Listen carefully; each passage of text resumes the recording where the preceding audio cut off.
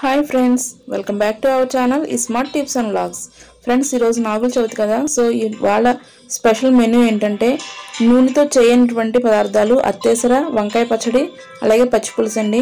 ఇది చాలా చాలా టేస్ట్గా ఉంటుందండి. మా సైడ్ అయితే మేము ఎలాగైనా చేసుకుంటాం. అంటే ఈరోజు నూనెతో వండిన పదార్థాలను తినకూడదు అంటారు కదా సో అందుకన్నమాట.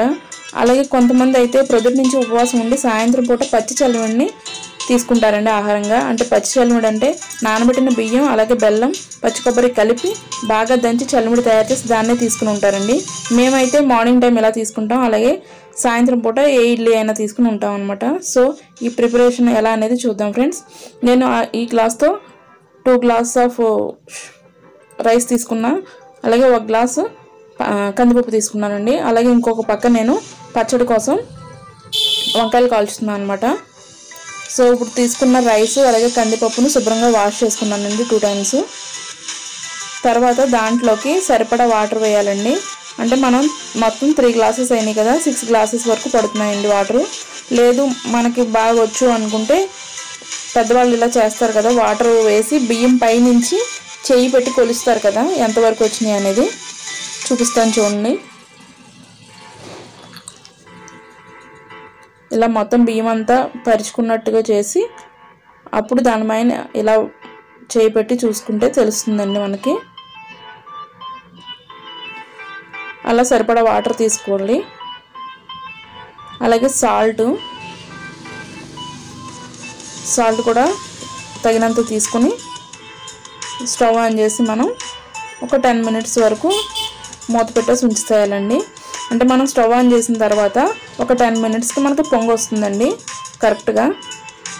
మనం అస్తమాను వెళ్ళి చూసుకునే అవసరం లేదండి సరిగ్గా టెన్ మినిట్స్కి వెళ్ళి చూస్తే చాలు అది పొంగు వస్తుంది. ఆ టైంలో మనం మూత తీసి చిన్న మంట పెట్టేసుకుంటే సరిపోతుందండి. మళ్ళీ కరెక్ట్గా టెన్ మినిట్స్కి మనకి కుక్ అయిపోయి ఉంటుంది రైస్ అంతా.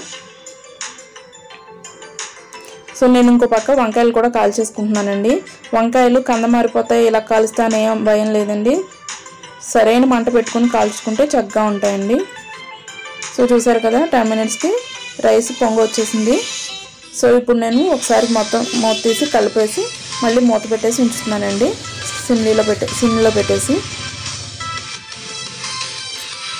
అలాగే మనకి ఒక పక్క పచ్చిమిర్చి అలాగే వంకాయలు కాల్చుకోవడం అయిపోయిందండి. మనం పచ్చిమిరపకాయలు వంకాయ పచ్చడిలోకి అలాగే పచ్చి పులుసులకు కూడా కాల్చుకోవాలండి. ఇప్పుడు ఈ వంకాయలని శుభ్రం చేసుకుందాం. ఇలా వాటర్ తీసుకుని వాటర్లోకి ఇలా కడుగుతూ శుభ్రంగా పైన పొట్టంతా తీసేయాలండి. ఇది చాలా చాలా టేస్టీగా ఉంటుందండి నిజంగా. ఎంత బాగుంటుందంటే.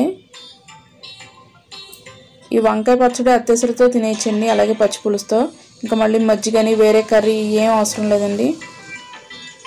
చాలా అమృతంలా ఉంటుంది. ఇలా మొత్తం పీల్ తీసేసుకున్నాక లోపల ఒకసారి చెక్ చేసుకోవాలండి. అంటే పురుగు ఏమన్నా ఉందేమో అనేసి. మనం కాల్చుకునేటప్పుడే టప్పమంట సౌండ్ వచ్చింది అనుకోండి వంకాయ అందులో పురుగు లెక్క. సో ఇవి మటుకు చాలా బాగున్నాయండి వంకాయలు ఏమీ పాడవల. అలాగే కట్ చేసుకున్న పచ్చిమిర్చి కూడా వేసుకున్నాం. అలాగే కొంచెం పసుపు. అలాగే తగినంత సాల్టు. చిన్నగా తరిగిన ఉల్లిపాయ ముక్కలండి.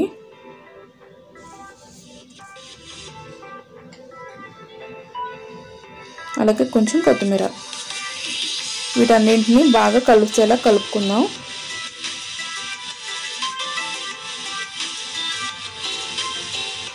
మనకి వంకాయ పచ్చడి రెడీ అయిపోయిందండి. ఇప్పుడు మనం పచ్చిపులుసుకి ఒక బాగా పండిన అరటిపండు తీసుకుని ఇలా స్మాష్ చేసుకుందాం.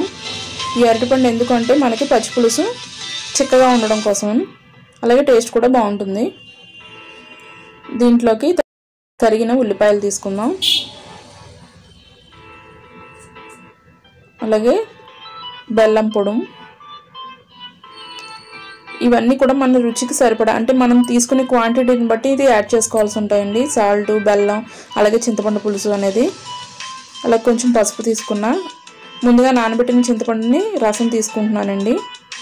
అలాగే తరిగిన పచ్చిమిర్చి కూడా వేసుకున్నా. అంటే కాల్చి పెట్టుకున్నాం కదా. ఇప్పుడు దీంట్లోకి మనం రసం తీసుకుని వేసుకుందామండి చింతపండు. అలాగే తరిగిన కొత్తిమీర. వీటన్నింటిని బాగా కలిసేలా కలుపుకుందాం. మనకి పచ్చి పులుసు కూడా రెడీ అయిపోయింది. ఇప్పుడు మనం రైస్ ఎంతవరకు వచ్చిందో చూద్దాం ఫ్రెండ్స్.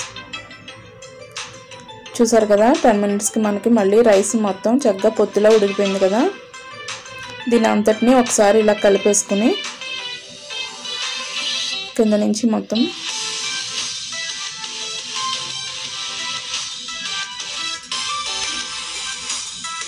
స్టవ్ ఆఫ్ చేసుకోవచ్చండి మనకి కుక్ అయిపోయింది.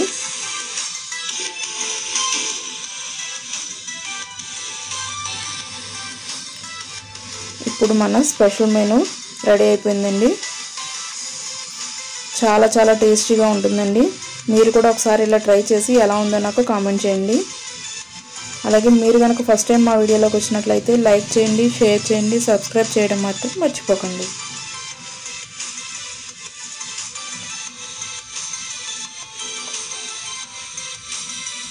మళ్ళీ మంచి వీడియోతో మీ ముందుంటాను ఫ్రెండ్స్ అంతవరకు నమస్తే.